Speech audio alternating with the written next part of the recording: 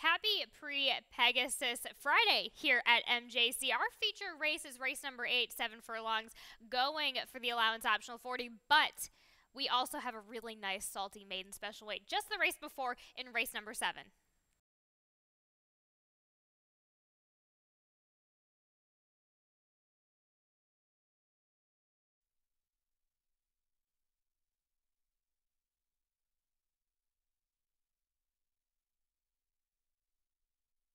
And they're off. Going to be getting Crossland and Celtic Cousin, and he rolls on the outside. Three in the line, vying early on.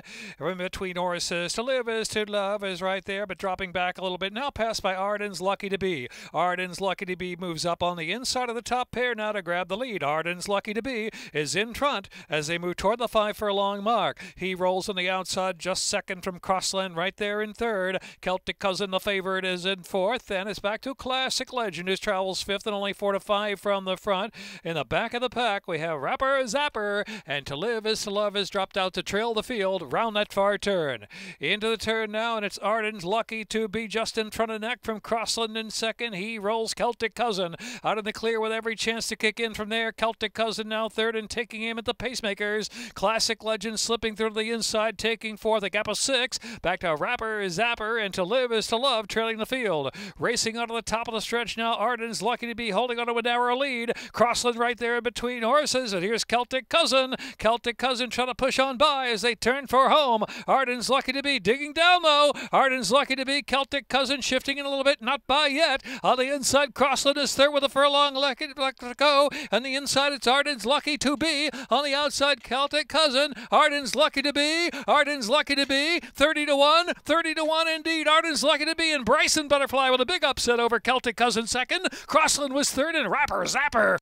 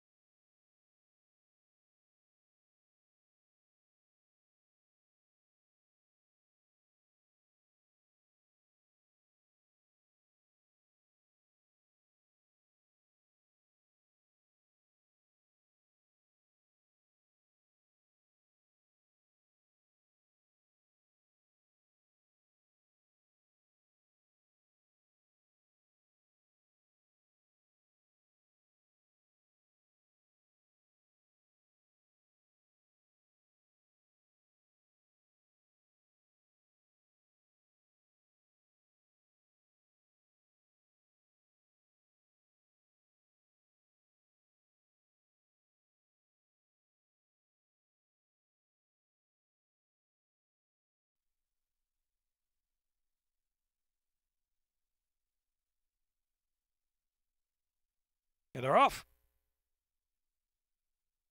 Calypso goes Fortis and Miss Casey the favorite, first three away.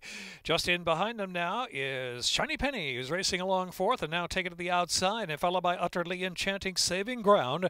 Golden Account had the notion is seventh and last.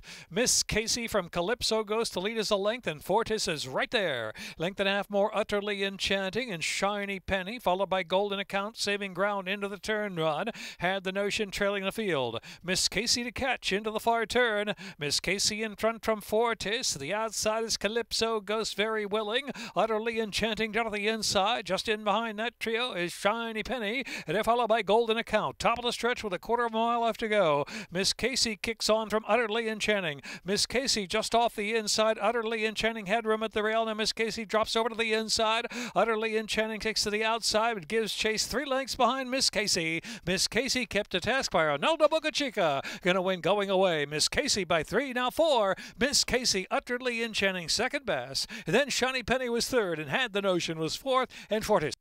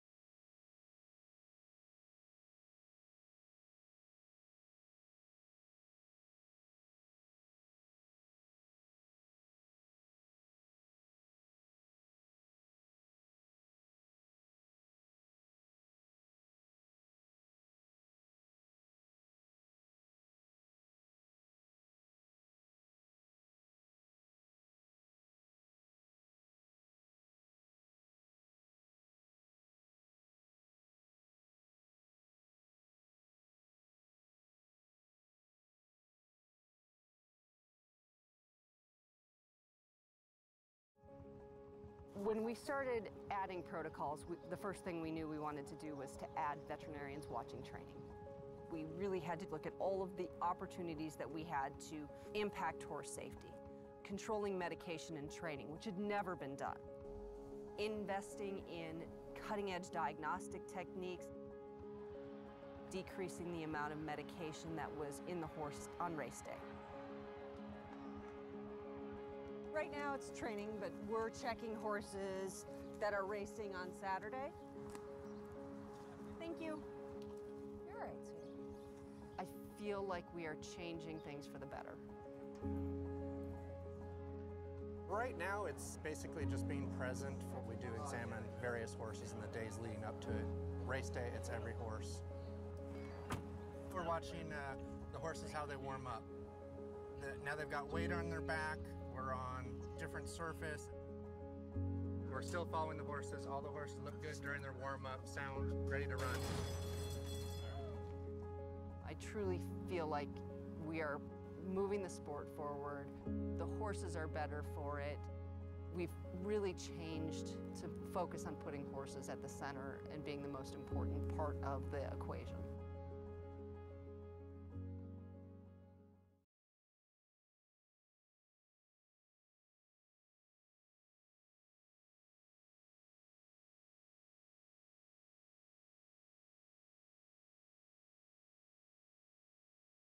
Sign.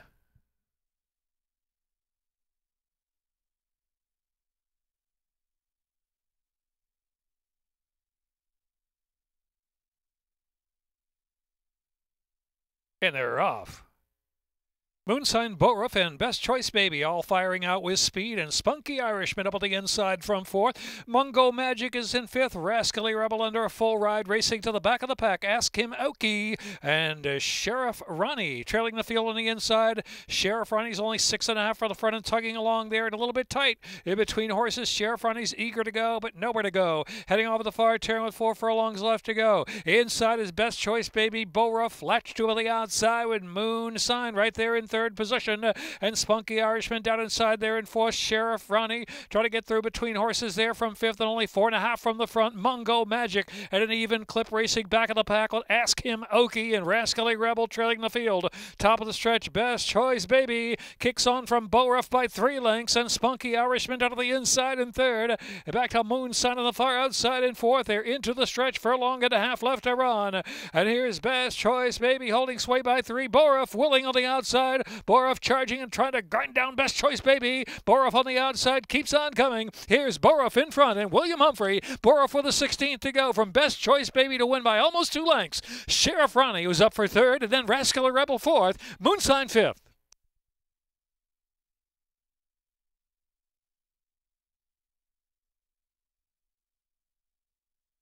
Minute 14.23.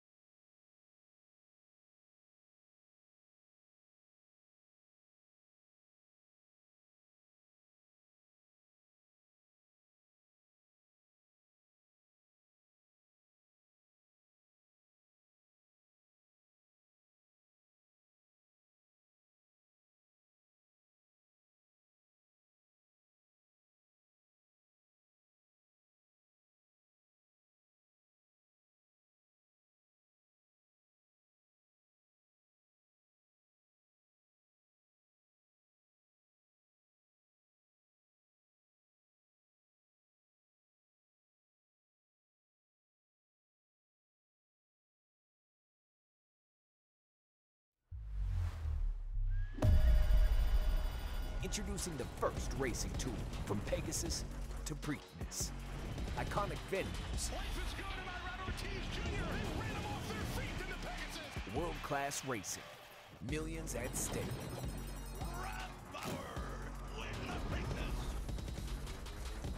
New champions will be crowned. Only at first.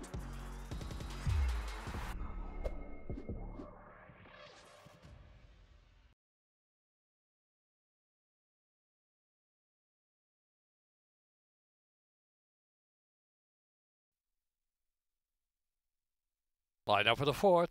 Pick six. In a rough. Good break for Doppelganger, Gallant Gold, Shofar, and Jardani on the inside, and Rump is also right there. And on the extreme outside, Nostalgic Run. Six of them stacked across the track. Now Doppelganger will take back to second last position. Now improves the spot, only four from the front as they sort into the first turn. Run trailing the field is Tate. Here's Nostalgic Run getting away with the lead. Rump is just second on the outside. Gallant Gold, the rail is Shofar, and they're followed by Doppelganger. The favorite is allowed to track now some six from that pacemaker who's opened up some daylight out there. Back to Jardani, second last position, and Tate trailing the field. And this Nostalgic Run going for it up front. Nostalgic Run now building on that lead. Five, almost six lengths from Rompin Gallant Gold. The inside is Shofar, then Doppelganger racing third last at this point, and Jardani and Tate trailing the field. Nostalgic Run trying to run away with it. Has about a six length lead on Gallant Gold and Rump Doppelganger trying to move now on the outside. Doppelganger in the second flight, advancing into third, but still eight to make up A Nostalgic Run into the far turn. Nostalgic Run by seven or eight from Gallant Gold and Doppelganger. Then to the outside, Tate is picked up fourth, and Jardani down to the inside at fifth, but it is still Nostalgic Run. Here's Doppelganger trying to get closer now with a quarter of a mile left to go. Nostalgic Run has worked on that lead so far with a quarter of a mile left to go with a five length advantage from Doppelganger as they turn in. Then Gallant Gold is next. Out the center of the track is Tate. They've got a furlong and a half left to go. It's Nostalgic Run holding onto the lead by three lengths. Doppelganger trying to charge at that one on the outside. Doppelganger's coming now. Here's Doppelganger. Doppelganger in a patient ride to Toledo going away. Doppelganger and Nostalgic Run hangs in well for second. Then it's Jardani third and Tate was fourth and Gallant fifth.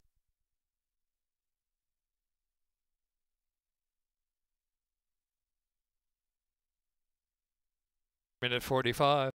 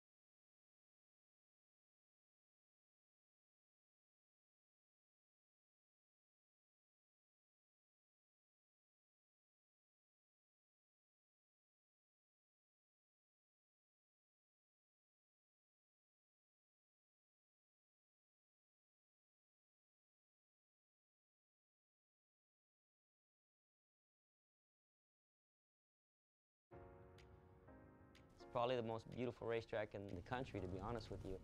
The background is just beautiful. I love Gulfstream Park because of the grandstand and the racing. The weather is beautiful. The facility is phenomenal. The Gulfstream Championship meet has become one of the top events of the year. Uh, you could come out on a Wednesday and see a future Preakness winner. They're off in the Preakness. Got the unique six and a half down the hillside turf course. A whole lot of great racing here in California. And uh, we're off. We have all three surfaces here, the only racetrack in the country to have all three surfaces. Being close to the ocean, being surrounded by some of the greatest horses and riders in history, it's, it's amazing. It's the prettiest thing you've ever seen. There's no one else has a background like we do.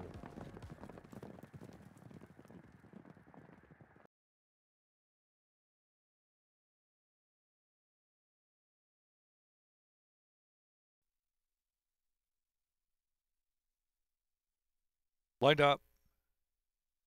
And they're off the Cairo Kid. Very sharp start for the Gray on the inside. Pit stop man, early speed. Kate's Golden Dude to the outside. And Dialing Dixie stoking up early speed as well. Mojack Cat right there. The second flight of between horses. Back to Masai Man, who's only four from a speed and trailing his should have had it. Pit stop man has worked to the lead and opens a length and a half, almost two now. Dialing Dixie and the Cairo Kid back third of the inside. Kate's Golden Dude is racing in fourth. Then it's back to Masai Man, Mojack Cat, and should have had it it, tailing off last position now into the far turn run. Three furlongs from home. Pit stop man in front by three lengths from Dialing Dixie and the Cairo Kid fully hustled out of the inside in third position. Kate's Golden Dude out three wide and willing, and it's another four or five lengths back. Masai Man Mo Jack Cat should have had it trailing the field. Pit stop man in front as they turn in. Pit stop man trying to sustain for another furlong and a half. The Cairo Kid, Kate's Golden Dude charging hard to the outside. Also between horses, Dialing Dixie's very game, but in tight and shuffled back for a long left to go. Pit stop man, Kate's Golden Dude, the Cairo Kid in between horses right there, a 16th to go. It's Pit stop man, the Cairo Kid in between horses trying to put that great nose in front. Here's the Cairo Kid, the Cairo Kid in the photo there with Kate's Golden Dude, a Pit stop man, then Dialing Dixie Masai Man.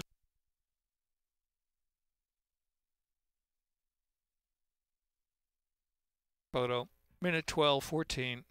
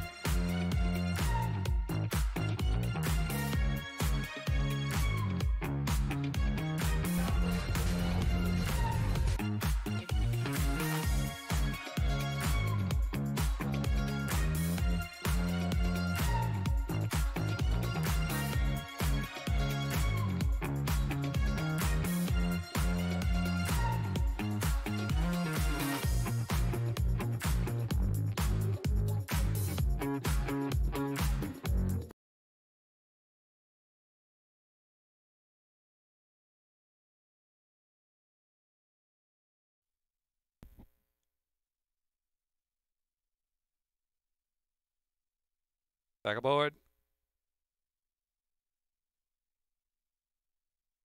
And they're off. Sweet Asta gets the first call out of the gate, but Stimulus Maker not going to pass that one and go to the lead. And Only Child is right there with early speed. Sweet Asta back in third position. Under fired out of the inside. And Badger Tooth races fifth already, six off a pace. Sir Tear is followed by Aftermath. And then the back of the pack is Cash Kid and Bronco Maria. And trailing the field is Ice Bar in 10th. Ice Bar last. It has about 16 to make up at this point as Stimulus Maker sets a good pace going solo by three. Only Child is second a half length Under Fire is in third. Sweet the far outside there, fourth, racing well off the rail. Aftermath is to the inside. Next is Sir Tear. Then back to Badger Tooth, who's got 10 to make up at this point. Bronco Maria, Cash Kids saving ground as they move past the five ace. And Ice Bar still 10th and last. And Stimulus Maker to catch. Stimulus Maker by three from Only Child.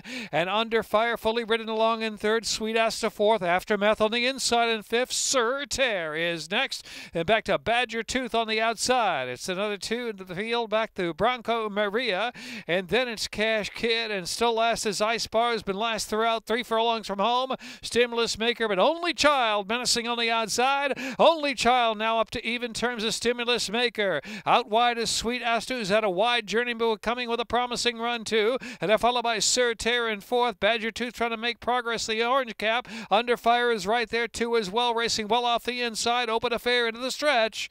On the outside, Sweet Asta, Only Child there on the inside with the white blinkers. And so fighting back is Only Child and Sweet Asta maybe a half ahead in front. Only Child Stimulus Makers back in third. Badger Tooth trying to pick up very late, but too late to catch the top two. Only Child, Sweet Asta, Only Child, Sweet Asta, nothing between them. Sweet Asta, Only Child, and an Ice Bar who was last came rolling for third, then Badger Tooth.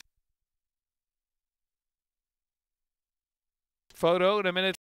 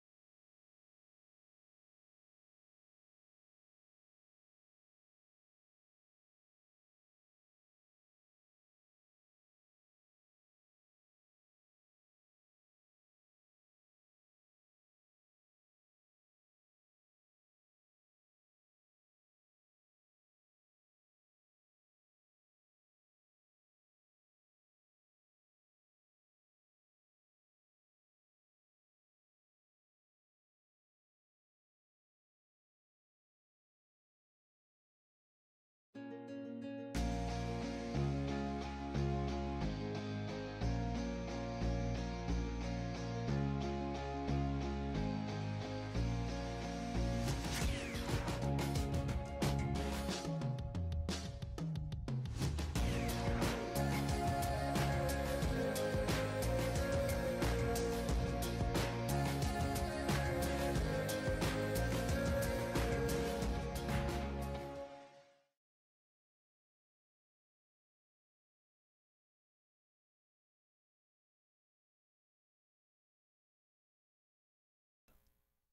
Holding it 8 to 5.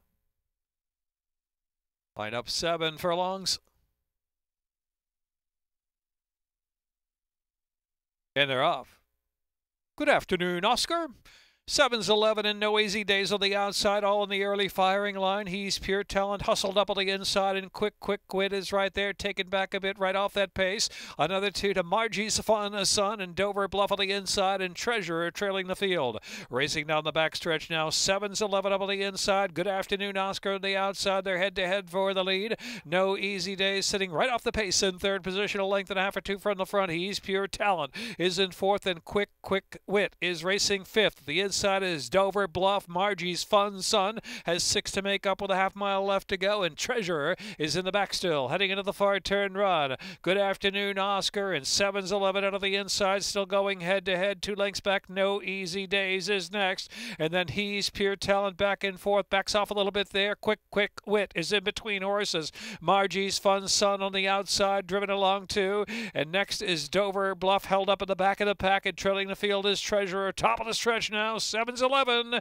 Sevens Eleven burst away from Speed Rival. Good afternoon, Oscar. Then no easy days. Quick, quick Wit is next, then Dover Bluff in between horses. Past the furlong marker, Sevens Eleven fully extended with a five length lead. Sevens Eleven in front with a 16 to go, and well clear now. Sevens Eleven and Angel Cruz. Sevens Eleven. Here's no easy days. Gamely for second, and Dover Bluff finishing with some interest there. And then good afternoon, Oscar and Quick Quick Wit.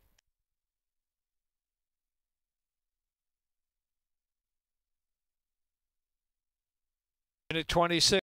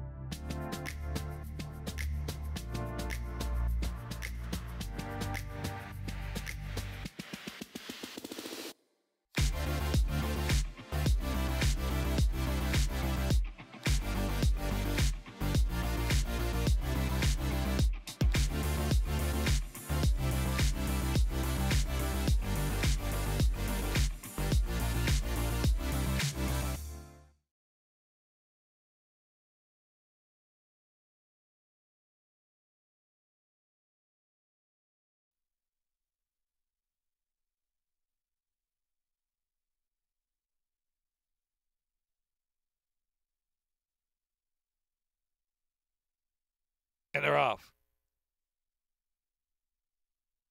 There goes Starship Laban and hashtag Lucky. Showing early speed. In between horses, Acadian Girl up sharp and close. And Carol Girl away running fourth on the inside. Back to Hope has a name. Back to Stand By You to the back of the pack now. And Lady Macho trailing the field. Lady Macho last and about eight or nine off that pace as Starship Laban rolls along. Starship Laban up top from the chasing Acadian Girl in second and hashtag Lucky is third.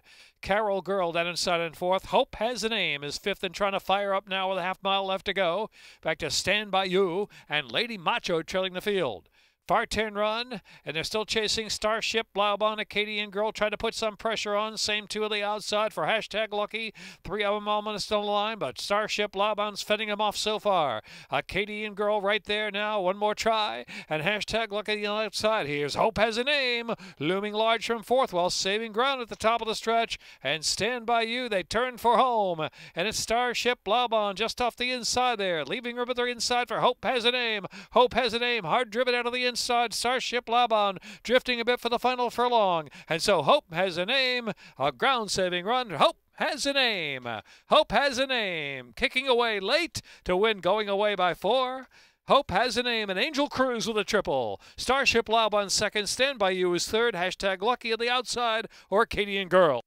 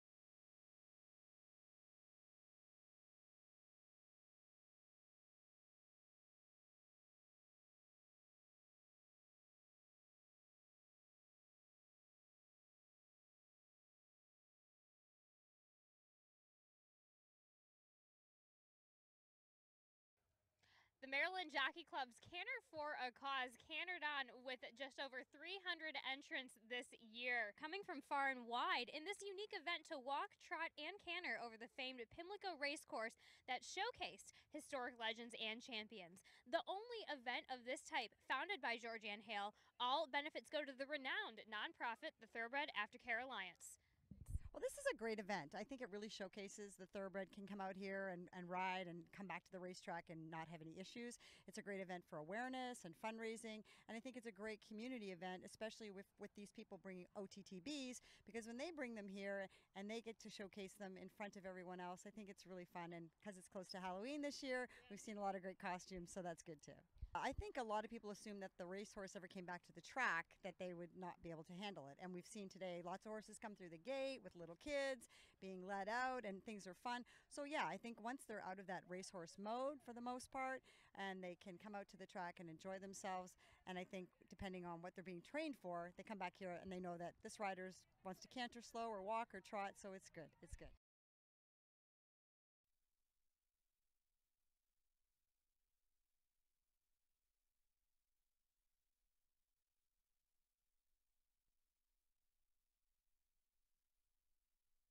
In the gate. And they're off. I am the Mike and Foul Nation showing early foot out of the gate. The inside is Spectrier is also right there. First three sorting out. Here's Fartlek settling in in fourth position over the border ground saving around the turn. And California Ghost to the back of the pack with Run Rocky Run back there too.